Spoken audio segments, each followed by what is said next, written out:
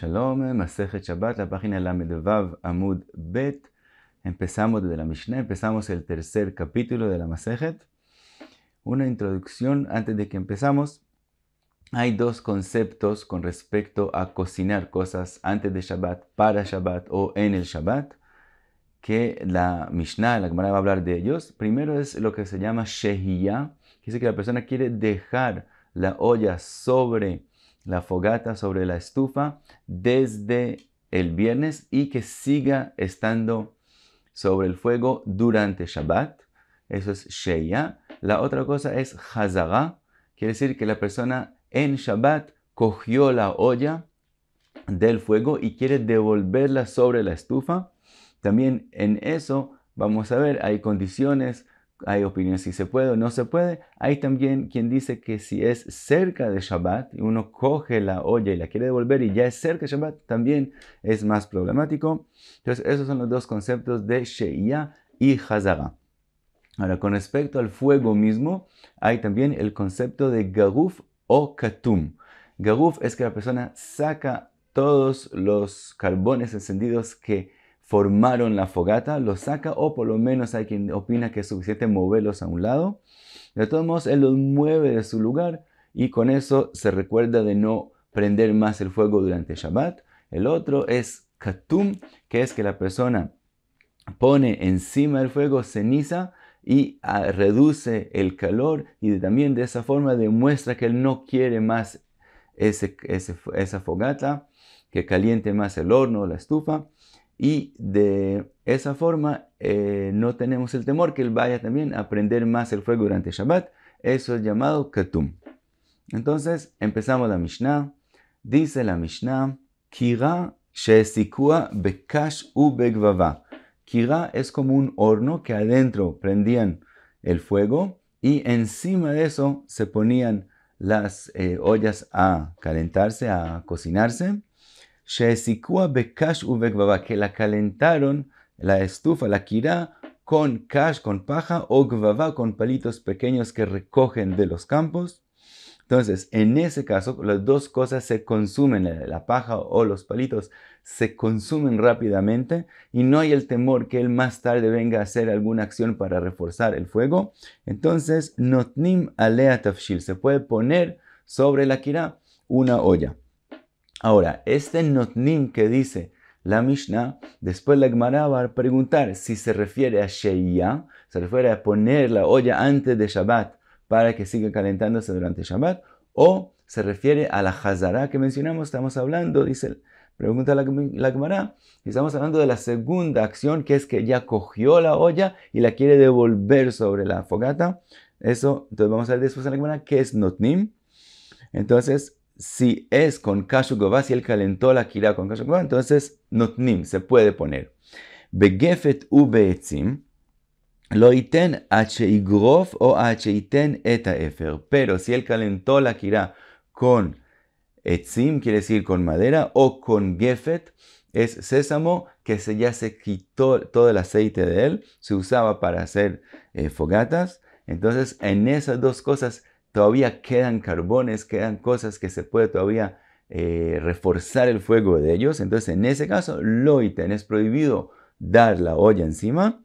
H como dijimos, H y gof quiere decir que saque que todos los carbones que quedan ahí. O sheiten etaefer, o que pone encima ceniza para reducir el calor y con eso recordarse y demostrar que él no va a usar más esta fogata. Entonces, es, si él calentó la kira con gefetetzim, es prohibido poner la olla hasta que él eh, haga o garuf o katum. Ahora, Bet si él sí hizo eh, garuf o katum, o en el primer caso que se fue calentado con kashu que es lo mismo, si es el resultado lo mismo que él ya no tenemos temor que él va a mover el fuego. Entonces, Bet Shammai omrim jamina De todos modos dicen Bet lo que es permitido poner sobre la kira es agua caliente, pero no una olla con comida. Ubetil el omrim jamin vetafshil. Mientras que Betil dicen también jamin y también tafshil son permitidos. Bet Shammai omrim notlin aval lo machzirin. Dicen Bet que se puede coger la olla, pero no se puede devolver. Es decir, estamos hablando ahora seguro de la parte que es llamado Hazara, que se puede devolver o no devolver la olla. Y Bechamay opinan que del todo es prohibido devolver. Uvetil el omrim af Mientras que Betil opinan que también se puede devolver la olla. Ahora, si en el caso primero de la Mishnah estamos hablando también de devolver la olla, entonces, ¿por qué la, la Mishnah se repite? Eso la Gemara lo va a preguntar. Ahora, en el caso de Hazara, que él quiere devolver la olla, como dijimos antes que se puede poner la olla solamente si y calentó la kira con kasho gavá o en el caso que hizo garuf o katum, entonces cuando él quiere devolver la olla, estamos hablando en un lugar, en una kira, que no hay temor que él vaya a mover el fuego. Entonces, ¿por qué Bechamay prohíben de todos modos devolver la olla? Explica Rashi que esta prohibición no es porque él va a mover el fuego, sino porque como estamos hablando ya en Shabbat, entonces eh, cuando él quiere devolver la olla, parece como que él quiere cocinar en Shabbat, aunque de verdad no está cocinando, porque estamos hablando, obviamente, cuando devolver una olla, estamos hablando que ya está cocinada por completo. De todos modos, parece Mihzei como si quiere cocinar, entonces, aunque no hay temor que él vaya a morir el fuego, de todos modos lo prohíben y esa es la opinión de Bet entonces, seguimos a la cámara y vaya la U, pregunta a la cámara, Hay lo iten. Lo que está escrito al principio de Mishnah, que él no, no ponga la olla si la calentó con gefet y etzim hasta que no haga garufo katum. Pregunta a la cámara, lo yachziru. Está hablando que es prohibido devolver. Aval lishot mashin af al pi sheino garuf ve'eino katum. Umani hananiai. Entonces, si nosotros explicamos que la primera parte de la Mishnah habla que es prohibido devolver la olla hasta que la kira no esté garufu katum. Quiere decir que dejarla desde el viernes se puede aún si la kira no se le hizo garufu katum, aún si se calentó con gefet y etzim y no hizo garufu katum, de todos modos puede poner la olla desde el Shabbat, el desde el viernes que se quede durante Shabbat, solo devolverlo en Shabbat es prohibido a menos que esté Garuf Katum. Y eso es según la opinión de Hanania. Sería entonces la Mishnah según Hanania de Tania, que está escrito en la Braita, Hanania Omer, כל שהוא כמאכל בן דרוסאי, מותר לשעותו על גבי קירה, אף על פי שאינו גרוף ואינו כתום. Dice Hanania, si una comida se cocinó que mahal ben drosai, que decir, explicamos ya una vez que es o tercio o mitad de lo que se necesita cocinar. Eh, si ya está cocinado de esa forma, en ese caso no hay temor que él vaya a reforzar el fuego según Hanani, entonces se puede dejar desde el viernes sobre la kira, aun si no está garuf o katum. Esa es la opinión de Hanania y dice la cámara, tal vez lo itenes no de la devuelve, devolverlo en Shabbat obviamente es prohibido si no está garuf o katum y también que esté cocinado por completo. Entonces, si lo ítem de la Mishnah es que no lo devuelva, la Mishnah es Hanania y dejar la olla desde el viernes se puede aún si no está Garufa Katum. O Dilma, dice la Gemara, Lishotnan. Lo que está escrito lo iten es que es prohibido la ya que es decir, dejar la olla desde el viernes si no está el Garufa Katum. Entonces, O Dilma Lishotnan ve'i Garufa Katum in, entonces se puede. Y lo, lo, y pero si no está Garuf Katum, no se puede dejar desde el bienes. Vekol Sheken y con más razón que es prohibido devolver la olla durante Shabbat si no hizo Garuf Katum para que no llegue a mover el fuego.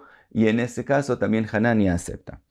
Dice la Gemara, Tashma, ven y escucha. Mi dektani masnisin, como hay dos, la Mishnah lo dividió en dos partes כפנימרו, בית שמאי אומרים חמין אבל לא תבשיל, ובית הלל אומרים חמין ותבשיל. בית שמאי אומרים נוטלין אבל לא מחזירין, ובית הלל אומרים אף מחזירין, בימוס דוס מחלוקות אין לה משנה. תסדיס אל הגמרא, אי אמרת בשלמה לשעות נען, סי לא ייתן כססקריטון למשנה, אס לא, אס כס פריבידו אסר שהייה אנטה דקסטה לא גרוף וכתום. כסי דחלו אדל בי bien es prohibido, así no está. Y entonces la Mishnah es como Jajamim. y entonces podemos explicar la Mishnah así. Kirashi sikua bekashu vegvava mash'ina lea tavshil.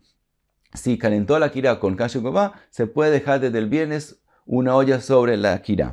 Begefet uvetzim lo yashe o efer.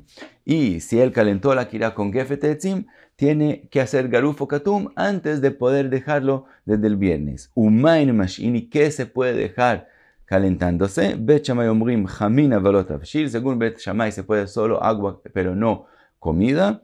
Ubet el Omrim Hamin Vetafshil. También una comida. Veji de Pligi Belishot, y como hay machloket entre Bet y Betiel con respecto a Sheya, ¿qué se puede dejar desde el viernes? Pliginami Beleachzir. También hay machloket con respecto a devolver la en Shabbat. Machzirin. Se puede comer, pero es prohibido devolver, como explicamos según Rashi, porque de que Moshe parece como si quiere cocinar, aunque la kira está garufe que no hay temor que él venga a mover el fuego, de todos modos a él, Mirze, el que parece como si va a cocinar en Shabbat. Uvetil el omrim, af machzirim. Entonces, también se puede devolver Ela, y amarta leachzirtnan, pero si tú dices que la Mishnah lo que habló de principio es que es prohibido devolver al fuego a Jiktani, entonces así está escrito. קירה שהעסיקוה בקש ובגבבה מחזירין עליה תבשיל, בגבת ובעצים לא יחזיר, no lo devuelven שבת, עד שיגרוף או עד שייתן את האפר, hasta que no haga garufo katum desde Umain Mahzirim, ¿qué es lo que pueden devolver? Bet Shammai Omrim Jamin Avalot Tafshil, agua pero no comida, o Bet Omrim Jamin Betafshil. Y entonces viene otra vez la Mishnah y dice, Bet Shammai Omrim Notlin Avalot Mahzirim, u Bet Omrim Omrim Af Mahzirin. Entonces otra vez la Mishnah vuelve y repite el mismo tema de si se puede volver o no se puede volver. Ha Tulamali, entonces ¿por qué? Tenía que repetir otra vez la Mishnah, lo mismo que ya habló al principio. Dice la Gemara, Leolam Siempre puede ser que lo que está escrito en la Mishnah lo iten es que no se puede devolver en Shabbat. Pero desde el viernes se puede dejar la olla aún si no hizo Garufe Katum. Pero, y es como si faltan para hacer la Mishnah, que hay que agregarlas para entender lo que está diciendo. Y así está escrito. Se puede devolver sobre ella. Alea tafshil begefet uveetzim, si le calentó la kira con gefet uveetzim, lo yachzir ad sheigrof o ad sheiten et haefer. Aval, lishot, pero si quieres dejarlo desde el viernes, mashin af al pi sheino garuf veino katum, como la opinión de Hanania. Umain Mashin, ¿qué es lo que se puede dejar desde el viernes? omrim Hamin Avalotafshil, omrim Hamin Vetafshil. Y sigue la Mishnah diciendo, Ve'ach Hazara de Amri Lecha. Y lo que empecé diciendo en la Mishnah, que eh, se puede devolver la olla en Shabbat si se hizo Kerufakatum, Lav Divreakol, y no es según todo el mundo, el Machloket, Bet Shamay u Bet Hillel, Shebet Shamay omrim Notlin.